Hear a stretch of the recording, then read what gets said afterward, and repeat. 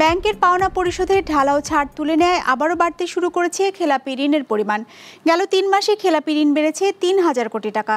কেন্দ্রীয় ব্যাংকের হালনাগাদ হিসেবে জুন শেষে ব্যাংকিং খাতে খেলাপি ঋণের পরিমাণ দাঁড়িয়েছে আটানব্বই হাজার কোটি টাকারও বেশি, যা মোট বিতরণকৃত ঋণের আট দশমিক ছয় এক ভাগ। সৌরভ রহমানের রিপোর্ট। করোনার প্রথম ধাক্কায় গেল বছর একরকম বন্ধ ছিল ব্যবসা বাণিজ্য তাই ব্যাংকের কিস্তিতে গ্রাহকদের ছাড় দিয়েছিল কেন্দ্রীয় ব্যাংক। সিদ্ধান্ত ছিল, ডিসেম্বর পর্যন্ত পাওনা পরিশোধ না করলেও খেলাপি হবে না। চলতি বছরের জানুয়ারি থেকে এই ঢালাও ছাড় তুলে নেওয়া হলেও বড় ঋণের ক্ষেত্রে তা আগস্ট পর্যন্ত বহাল আছে। তবে এরপরও জুন শেষে দেশের ব্যাংকিং খাতে খেলাপি ঋণের পরিমাণ দাঁড়িয়েছে আটানব্বই হাজার কোটি টাকা। মার্চে যা ছিল পঁচানব্বই হাজার কোটি টাকার মতো। করোনা ভাইরাস যে অবস্থা আমাদের ইকোনমি কিন্তু এখনও সেই স্লাগিশ বিজনেস কন্ডিশন রয়েছে। ডেট সার্ভিসিং ক্যাপাসিটি কাস্টমারদের এখন আসে নাই।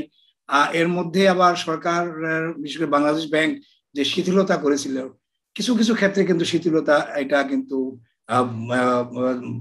ইয়ে হয়ে গেছে। সব ক্ষেত্রে কিন্তু যে ছাড় ছিল, যে একটা ডেফারেল ছিল, সেই ডেফারেল কিন্তু সব ক্ষেত্রে দেওয়া হয়নি। যে সমস্ত অ্যাকাউন্ট দেখছিলাম যে আসলে একেবারেই হচ্ছে না, হবেও না।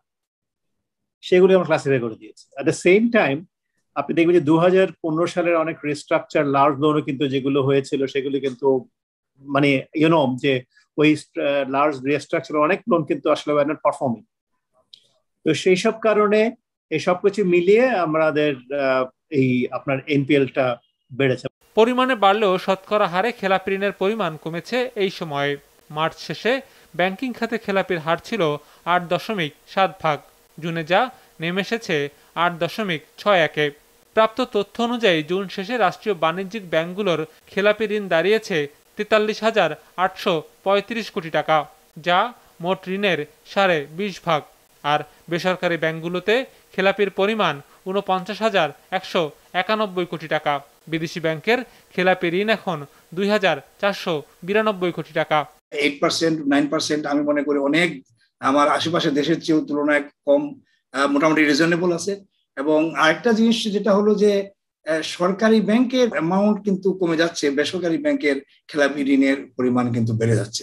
এটা একটা অ্যালার্মিং যেহেতু আপনারা দেখেন, গত প্রায় দেড় মাস আমাদের জেনারেল লকডাউন ছিল এবং কোভিড আসলে অনেকভাবে এসেছিল এবং কোভিড এর আগে কিন্তু গ্রামে যায় এবার কিন্তু একেবারে গ্রামের দিকে চলে গেছে।